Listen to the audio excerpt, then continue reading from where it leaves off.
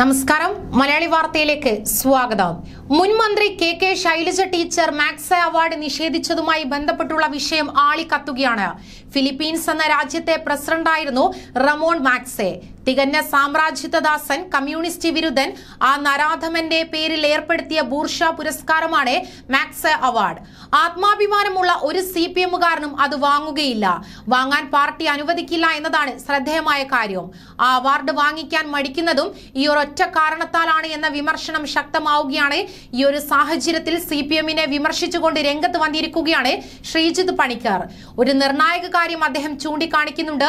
Chinese communist party central committee alternative അംഗം കൂടിയായിരുന്ന Juan പൻ മാർക്സെ award ഏറ്റുവാങ്ങുന്ന കാര്യമാണ് അദ്ദേഹം ചൂണ്ടിക്കാണിക്കുന്നത്. ശ്രീജിത്ത് പണിക്കർ ഫേസ്ബുക്കിൽ പങ്കുവച്ച കുറിപ്പിന്റെ പൂർണരൂപം ഇങ്ങനെയാണ്. ചിത്രത്തിൽ കാണുന്നത് യുവാൻ പൻ. രണ്ടായിരത്തി പത്തിൽ ഫിലിപ്പീൻസ് രാഷ്ട്രപതിയിൽ നിന്നും മാക്സ അവാർഡ് വാങ്ങുകയാണ്. അവാർഡ് ജേതാവായ ചൈനീസ് പരിസ്ഥിതി സംരക്ഷണ മന്ത്രാലയത്തിലെ സഹമന്ത്രിയും ചൈനീസ് കമ്മ്യൂണിസ്റ്റ് പാർട്ടി നേതാവുമായ പാൻയുവിന് ചടങ്ങിലെത്താൻ സാധിക്കാത്തതിനാലാണ് യുവാൻ പൻ അദ്ദേഹത്തിനായി അവാർഡ് ഏറ്റുവാങ്ങിയത്. താൻ അവാർഡ് സ്വീകരിക്കുന്നതിനായി പാൻയു അവാർഡ് ഫൗണ്ടേഷനെ അറിയിച്ചിരുന്നു. പാൻയു ഇന്ന് ചൈനീസ് എത്നിക് കമ്മീഷൻ മന്ത്രിയാണ്. ഒപ്പം Chinese communist party central committee alternative അംഗം കൂടിയാണ്. നമ്മുടെ നാട്ടിലെ കമ്മ്യൂണിസ്റ്റുകാർ കാണുന്നുണ്ടല്ലോ അല്ലേ? അപ്പോൾ ശരി എന്ന് പറഞ്ഞാണ് കുറിപ്പ് അവസാനിപ്പിച്ചിരിക്കുന്നത്. അതേസമയം ഈ വിഷയത്തിൽ സി പി എമ്മിനെ വിമർശിച്ച് അഡ്വക്കേറ്റ് എ ജയശങ്കർ രംഗത്ത് വന്നിരുന്നു. അദ്ദേഹത്തിന്റെ വാക്കുകൾ ഇങ്ങനെയായിരുന്നു. ആയിരത്തി എണ്ണൂറ്റി തൊണ്ണൂറ്റി എട്ട് ആയിരത്തി തൊള്ളായിരത്തി നാൽപ്പത്തി ആറ് കാലത്ത് അമേരിക്കൻ കോളനിയായിരുന്നു ഫിലിപ്പീൻസ്. സ്വാതന്ത്ര്യം കിട്ടിയ ശേഷവും അമേരിക്കയുടെ നിയന്ത്രണത്തിൽ തുടരുന്നു.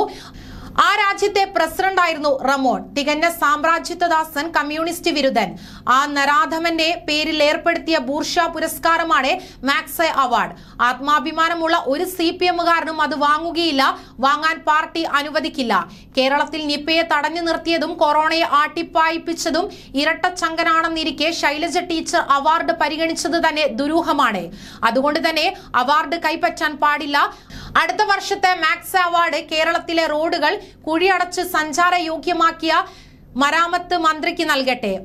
മരുമോൻ സഖാവ് ചെന്ന് കൈനീട്ടി വാങ്ങും. പടം ഫേസ്ബുക്കിലും ഇടൂ. തിരിച്ചു വരുമ്പോൾ കാതടപ്പിക്കുന്ന കരിമരുന്ന് പ്രയോഗം നെറ്റിപ്പട്ടവും കെട്ടിയ ഗജവീരന്മാരുമായി സ്വീകരണം നൽകും. അതുവരെ സാമ്രാജ്യത്വം തുലയട്ടെ. മാക്സ് അവാർഡ് അറബിക്കടലിൽ എന്ന് പറഞ്ഞാണ് അദ്ദേഹം കുറിപ്പ് അവസാനിപ്പിച്ചത്. മാത്രമല്ല നിലവിൽ മുഖ്യമന്ത്രി പിണറായി വിജയനോ മുഹമ്മദ് റിയാസിനോ ആണ് പുരസ്കാരമെങ്കിൽ പോയി വാങ്ങുമായിരുന്നുവെന്നും ജയശങ്കർ പരിഹസിച്ചു. ന്യൂസ് ഡെസ്ക് മലയാളി വാർത്ത.